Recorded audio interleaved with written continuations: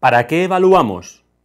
Posiblemente muchos de los que estáis viendo este vídeo os habéis hecho esta pregunta.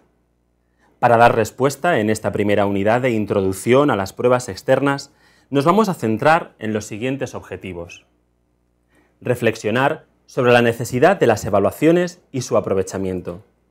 Esto último es fundamental, ya que después de una evaluación siempre se hace un análisis de los resultados que sirve para tomar decisiones. Conocer las pruebas externas, los organismos que las llevan a cabo y la metodología que utilizan. No es lo mismo la evaluación que hace el docente en el aula que la foto fija que se extrae de una evaluación internacional, que nos permite obtener una visión general de lo que está ocurriendo. Y por último, familiarizarnos con los entornos que vamos a utilizar durante el curso para facilitar la realización de las actividades y la interacción entre todos. Hola, mi nombre es David Cervera y trabajo en el Instituto Nacional de Evaluación Educativa, que es el organismo encargado de las evaluaciones externas dentro del Ministerio de Educación, Cultura y Deporte. Bienvenidos a esta primera unidad del curso Las preguntas, PISA y TIMS, una práctica para el aula. Aunque el título no parezca fácil, porque aún no estáis familiarizados con algunas siglas y el vocabulario específico, según vayamos avanzando en los vídeos veremos que no es tan complicado e iremos descubriendo poco a poco la riqueza de las preguntas utilizadas en las evaluaciones externas. La ventaja de estas pruebas internacionales, PISA, TIMSS, PIRLS y otras que iremos conociendo, es que nos ofrecen una perspectiva internacional sobre qué es lo que hacen otros sistemas educativos y eso nos permite compararlo con el nuestro, facilitando una panorámica de qué podemos hacer para mejorar, pero también muestran la riqueza de lo que hacemos y la dan a conocer al resto de países participantes. En definitiva, conocer nuestras fortalezas y debilidades para mejorar. Os animo a participar activamente en el curso, haciendo las actividades tanto de forma individual como en grupo y que hagas uso de las distintas plataformas que ofrece la red. Especialmente en Twitter y con los blogs, para poder estar en contacto durante el curso y, por qué no, posteriormente, creando una comunidad de aprendizaje colaborativo que nos permita preparar mejor las pruebas externas de nuestro centro educativo tiene que afrontar. No os asustéis por estas herramientas, son fáciles de usar y podéis encontrar tutoriales sencillos en la zona de recursos y, por supuesto, en la web.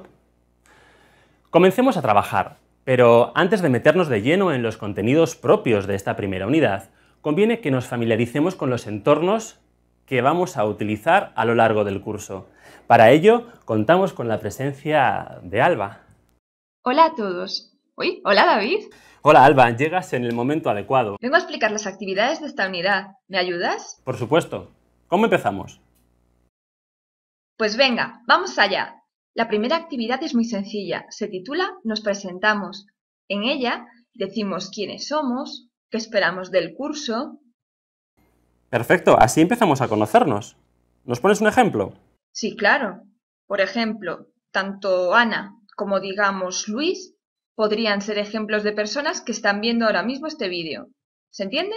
Da igual el formato o la herramienta que empleemos, ¿cómo lo veremos? Pues no te preocupes, aquí lo importante es presentarse. El formato o la herramienta no importan y al final todo quedará recogido en Google Maps. Así que venga, a ser creativos. Esto es fácil. ¿Y la segunda actividad? Pues se titula Nos ponemos al día.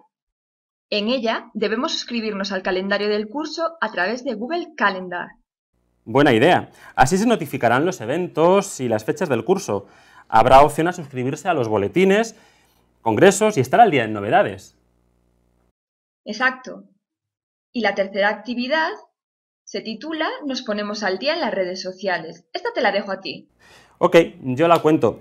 Se trata de abrir un perfil en Twitter, salvo que ya tengas una cuenta, y tuitear una de tus expectativas sobre el curso en 140 caracteres. Recuerda que debes incluir el hashtag del curso Preguntas Pisa. Yo tuitearía algo así como, con el MOOC hashtag Preguntas PISA, me gustaría sacar el mayor provecho de las pruebas externas para usarlas con mis alumnos y mejorar sus resultados. ¿Qué te parece? Buen ejemplo.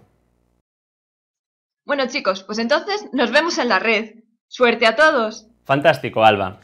Resumiendo, se trata de presentarnos para irnos conociendo, suscribirse al calendario del curso y tuitear aquello que esperamos del MOOC.